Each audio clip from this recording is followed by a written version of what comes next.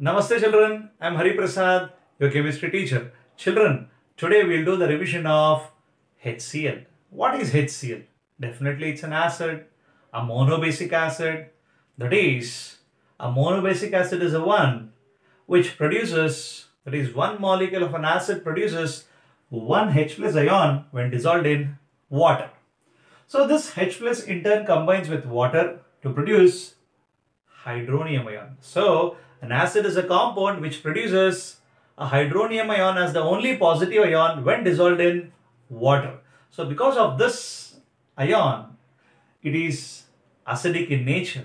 That is, it turns moist blue litmus red, colorless phenolphthalein to colorless orange color methyl orange to pink and pink color alkaline phenolphthalein to colorless.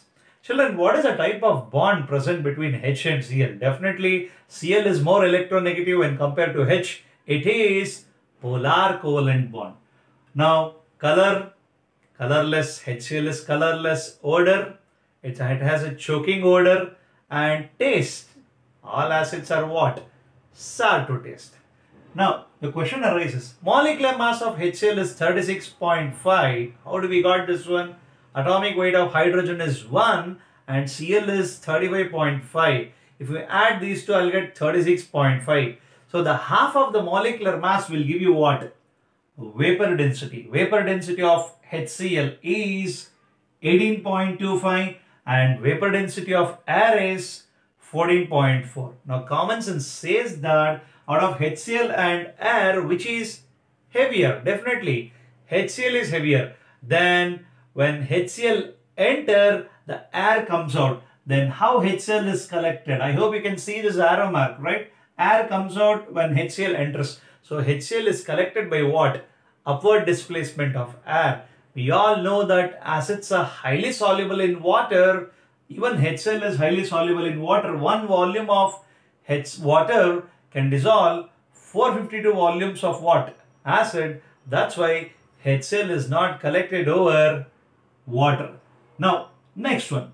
How to prepare HCl in the laboratory? We want sodium chloride and concentrated sulfuric acid. When you react these two at a temperature of what? Less than 200, you will get sodium bisulfate, which is a acid salt and our HCl. I hope you can see arrow marks here. What is the meaning of this one? HCl fumes in moisture because it is highly soluble in water.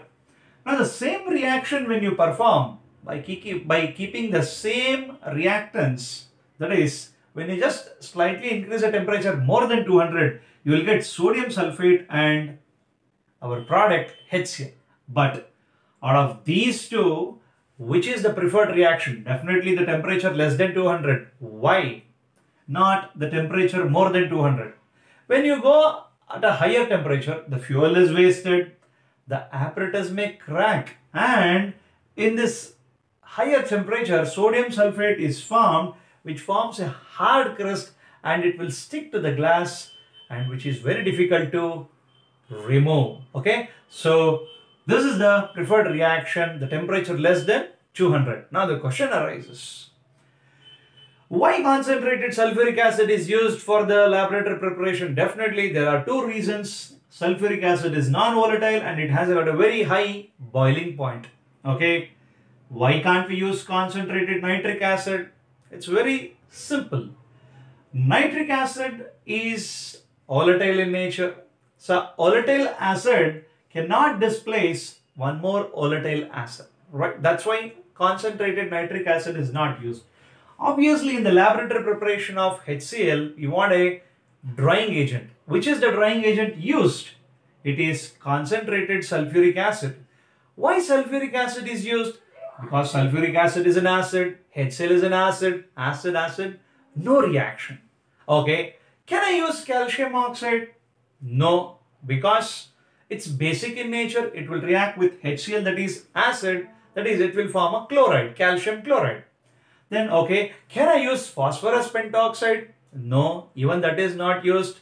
That will also form phosphorus oxychloride. So, the drying agent used is concentrated sulfuric acid and not used is calcium oxide and phosphorus pentoxide. Now the question arises, what is the difference between hydrogen chloride and hydrochloric acid? Now before we proceed this, proceed with this one, how do you confirm that this is HCl? We all know that a glass rod dipped in ammonia, when you bring it near the mouth of the glass jar, where are you collecting HCl? Then if it is HCl, you will observe a dense white fumes that indicates the formation of what? Ammonium chloride. So this proves that the gas what you are collecting is nothing but what children? HCl. Now, hydrogen chloride is a gas. When you dissolve this gas in water, that is called as hydrochloric acid. Now, out of hydrogen chloride and hydrochloric acid, which will turn blue litmus red? Definitely hydrochloric acid. Why not hydrogen chloride? Hydrogen chloride does not have a moisture in it. So you mean to say that hydrochloric acid will turn blue litmus red, then hydrogen chloride will turn moist blue litmus red. Right? Now children, how do you confirm, how do you convert this one? It's very simple. We dissolve the gas in water by using a special funnel arrangement, right? So, what is the use of special funnel arrangement? We can convert the gas to what? Acid. What are the advantages of funnel arrangement? There are two advantages. This funnel arrangement, it provides, that is, it prevents or minimizes back suction and it provides a large surface area for the absorption of gas. Now, from that time we are telling that HCl is an acid, it's an acid. How do you prove that it's an HCl is an acid and how do you prove that it is highly soluble in water? For that, we do an experiment called as what? Fountain experiment. In fountain experiment, we take a blue litmus solution which turns into red color. The change in color indicates that blue to red indicates that it is acidic in nature. So this movement of this blue litmus and comes out as a fountain. So that proves that our HCl is what? Highly soluble in water. Now next one. Sir, what are the properties of all dilute acids? Definitely all dilute acids in general when they react with active metal. Active metal is the one which is placed above what? Hydrogen in the activity series. With active metal they produce hydrogen right which can be confirmed by what? It burns with a what? Pops on right? And when you treat a dilute acid with a base it forms salt in water. Dilute acids with metal carbonates or bicarbonates it is going to produce a gas that turns lime water milky. Definitely you are right. It is carbon dioxide. We'll get only carbon dioxide. No, you'll get salt, water and carbon dioxide. With metal sulfites and bisulfites, you'll get one more gas. That also turns lime water milky. Which one is that? Yes, sulfur dioxide. And will you get only sulfur dioxide? No, salt, water and sulfur dioxide. Now, carbon dioxide and sulfur dioxide both are acidic in nature. Both will turn lime water what? Milky. Then how will you distinguish these two? We have a small way of doing that. What is that? Only sulfur dioxide can turn pink color KMnO4 to what? Colorless. And orange K2Cr2O7 to what? Green. Whereas carbon dioxide does not react, right? It does not bring about the color changes.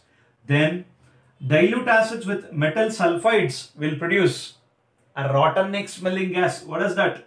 H2S.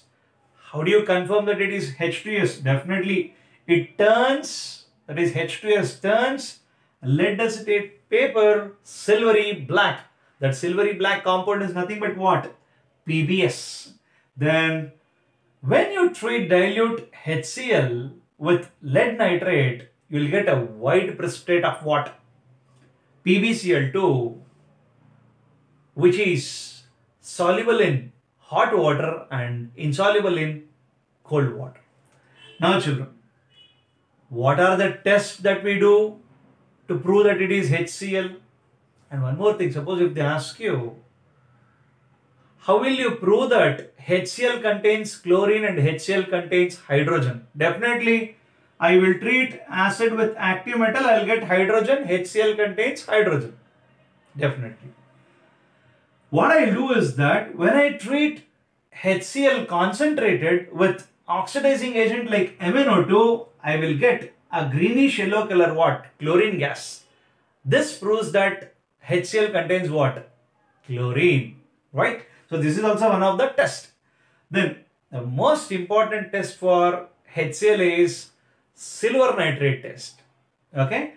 Silver nitrate test is a confirmatory test for HCl. How we can confirm that it is HCl by making use of silver nitrate?